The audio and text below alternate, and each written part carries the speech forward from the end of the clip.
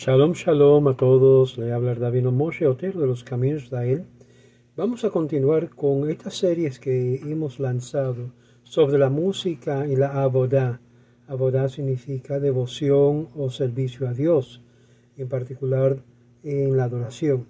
Hemos visto ya cómo los sabios de antigüedad, los más estrictos, los más fuertes, en contra de utilizar cualquier música secular o eh, de melodías cristianas en el servicio judío o utilizar las melodías, particularmente las letras, eh, están prohibidos según la opinión de lo más estricto.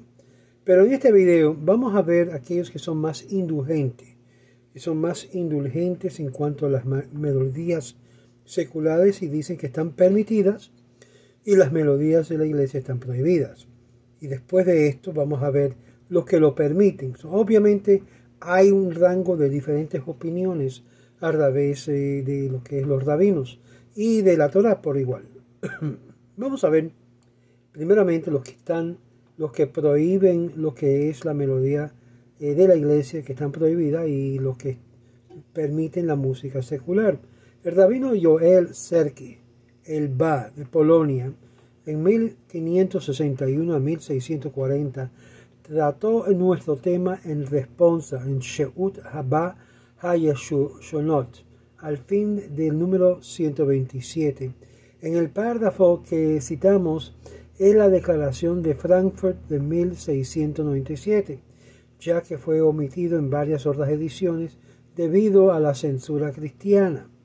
Los que cantan en las sinagogas melodías que ellos cristianos cantan en su casa de oración parece que no está prohibido excepto precisamente aquellas melodías que son propias de idolatría, ya que es una ley para la idolatría. Dicen, cualquier canto que se dirige hacia la divinidad de Chucho o Jesús está prohibido, pero si son específicamente para la adoración de ídolos, están, parece que eh, está prohibido, pero los que no son, que habla de Dios, y Dios exclusivo están permitidos, no hay prohibición. En otras palabras, en su opinión, las melodías cantadas en la iglesia no se puede traer a la sinagoga, pero las melodías que no son especiales para la iglesia se pueden traer a la sinagoga. Por ejemplo, muchos de los cánticos eh, de la Navidad, por ejemplo, que en sí, con la excepción que habla del niño Dios, no se puede usar para la sinagoga, pero aquellos que, no tienen mención ninguno de esto, esta idolatría sí se permite, según el rabino Joel Serki. Ya hemos visto anteriormente que el rabino Shneur Zalman de Eliadi, que es el, se puede decir uno de los fundadores principales de Chabad, en, en lo que era Bielorrusia, de 1745 al 1813, el Alter Debe, el fundador de Chabad, prohibió a un cantor cantar melodías de adoración de ídolos, de acuerdo al Magan Abraham. Por otro lado, él y Chabad Hasidim solían tomar las melodías seculares y llevarlo a la, sinagoga, y lo llamaban un Yiddish Maktish Anigun para santificar una melodía. El ejemplo más famoso de este, y he mencionado anteriormente, es la marcha Napoleón. Y algunos de los Hasidim aprendieron la melodía de los soldados de Napoleón en 1812. Y le encantaron al rey y quedó muy impresionado y dijo que en realidad es un Shir Shel Nitzahon, un canto de victoria que posee la chispa de santidad. Y como resultado el rebe instruyó a su Hasidim cantar melodía al final de Neilá antes de tocar el shofar para simbolizar la victoria del pueblo judío sobre Satanás y esta es la costumbre de Jabal hasta el día de hoy. Pueden ver lo que es el, el, el musilogo Pasternak citado por el David Allen en 1994, la página 6. El, el rabino Moshe Feinstein de Lituania, que vivió en Nueva York de 1890 95 hasta 1986, trató esto sobre la ley de escuchar melodías de, de los idólatras. En su Igrot Moshe Yoredea, la parte 2, número 56, he aquí que las melodías que cantan los cristianos en su casa de, de culto ciertamente está prohibido oírlos en la radio, aún en el fonógrafo, y no solo las melodías que cantan ahora, sino hasta los que cantaban antaño, aunque aún ya han dejado de cantar esas melodías, están prohibidas y también está prohibida la melodía que algunos cristianos compuso para un verso de los salmos, porque las melodías de los cristianos componen para los versos salmos son para oración, la cual está prohibido porque lo están cantando hacia la dedicación del ídolo Jesús. Y si reconoce que el autor de la melodía no pretendió cantar para el culto de ellos, sino cantar en general para gozar del canto, aunque el autor de la canción sea cristiana, no hay prohibición. Pero en general se debe asumir que es para su culto y está prohibido incluso para ganarse la vida. Y sin músicos eh, que ganan su vida con este medio, está prohibido.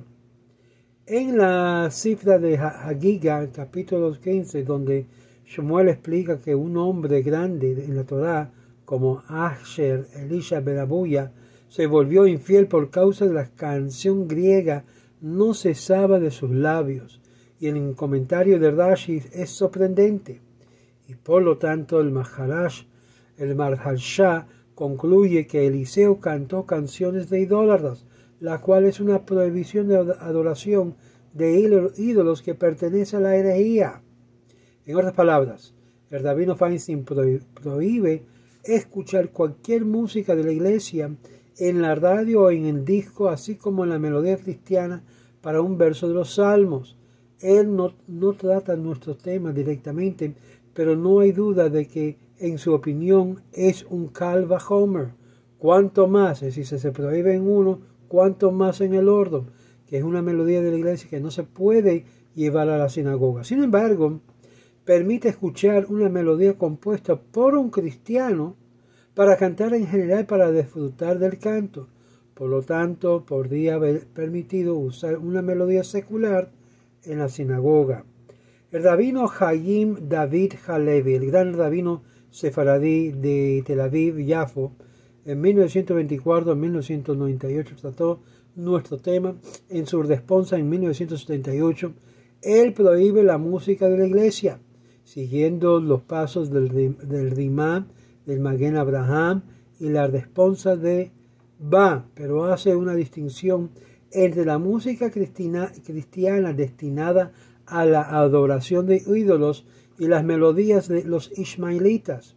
Luego cita el rabino Jaime Palachi y mencionó anteriormente que se opuso a la música secular como Macam y concluye, escucha lo que concluyó, y aunque sus palabras son palabras de gusto y lógica, ya es costumbre común entre los cantores de Edot HaMitzrah, judíos de países islámicos, trasladar melodías tomadas del mundo de la música y el canto árabes a pasaje de oración.